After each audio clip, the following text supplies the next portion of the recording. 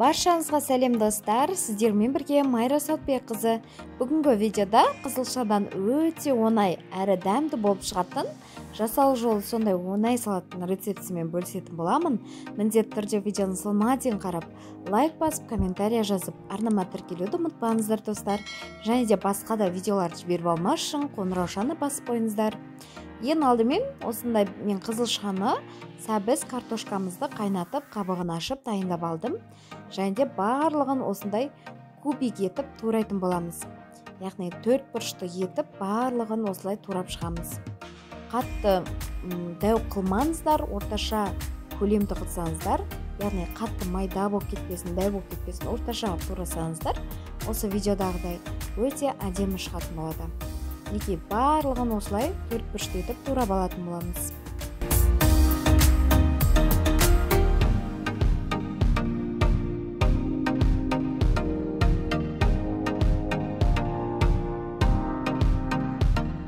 Бізге осындай тұздалған қияр қажет болады. Яғни менде өзім банкадан жабамын. Соны төрт бұрышты етіп бұл қиярымызды да қосып жіберетін боламыз. Бұл да сондай өте дәмді болады салатымыз.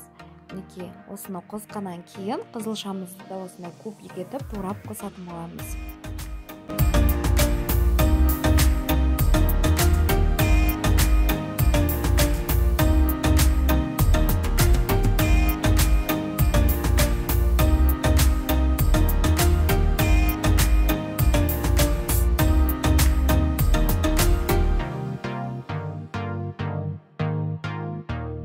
Келесі біздің осындай банкідегі жүгерімізді қосатын боламыз.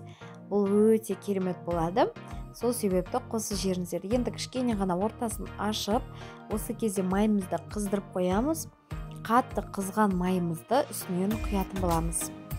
Мінекей қараңыздар осы видеодағы етіп өстіп құямыз. Сол кезде біздің салатымыз жылтырап сондай дәмді болып тұратын болады. Мінекей жақсылап араластырамыз.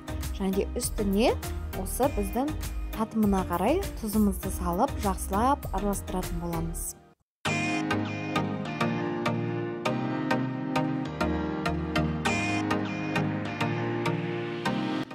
Мінекей достар біздің әп сәтте дайындалатын өте оңай қызылша салатымыз дайын болды. Енді осылай тарелкамызға төбесін үйіп тұрып салатын боламыз. Сол кезде біздің салатымыз өте әдемі көрінеді. Мінекей қараңыздаршы өте керемет болып шыққан. Және де қызылшаны көп қылудың қажеті жоқ. Ә, басқа да біздің ә, ә, сәбізіміз және картошкамыз жүгеріміз розовый түске боялып сондай әдемі вид беріп тұр. Мінекей дастарханға ұсына берсеңіздер де болады. Сондай дәмді болып шыққан міндетті түрде осы рецепт бойынша жасап көріңіздер достар.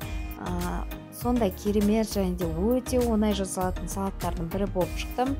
Ә, және де достар менің арнамнан басқа да көптеген рецепттерді көре аласыздар. Және де қасындағы қоңыраушаны басып лайк басып және де қоңыраушаны басып қоюды ұмытпаңыздар достар. Менің келесі видеомда осындай чақшақты әзірлейтін боламыз. Сол келесі видеомда жіберіп алмас үшін қоңыраушаны міндетті түрде басып все дегенді басып қоюды ұмытпаңыздар достар. Біздің осы чақшағымыз сондай керемет дәмді болып шығады.